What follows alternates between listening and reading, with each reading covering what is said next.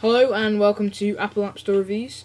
Um, in this video I'm just going to be showing you uh, my new website that I um, made a couple of months ago uh, and just give you kind of guided tour around it to uh, have a look and see you might want to go on there.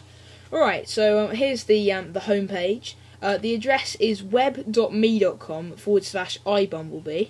Um, that's a bit confusing, but I will be getting a domain like iPodTouchUsers.com or something like that soon, so don't worry about that. Um, okay, so here's the homepage. So um, I've got a link to my YouTube channel and also just some uh, links to the uh, updates for the touch and games as well. Okay, so if we go to news, that's the uh, link at the top of the page. Then um, he's got a, a, blog that I've been doing about um, Apple and iPod touches. Uh, you can see my most recent ones. Um, okay, so let's move on to app reviews.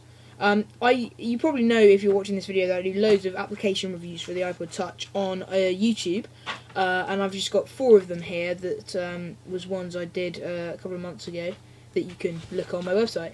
Okay, the next page is wallpapers. Um, I've been collecting iPod wallpapers uh, from loads of websites around the place, and these are the best ones that I found. I've got ones uh, movie posters, uh, then just random ones like Starbucks cups and like frogs and Super Mario and stuff. Yeah, so you can check those out. I've also got a page on how to download them to your iPod Touch here.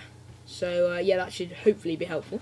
Um, I've also got a links page that's um, just some iPod Touch uh, websites and also my other two web pages.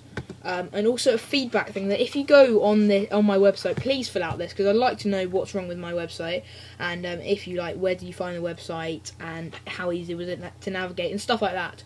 Also, on my homepage, there's a link to um, the monthly newspaper, uh, well, kind of newsletter thing that I might email you.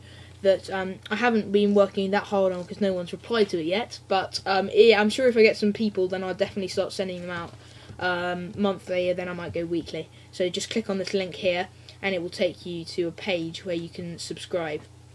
That's it. Okay, um, thank you very much for watching. Please check out my website and um, fill out the feedback form or make a comment on this video.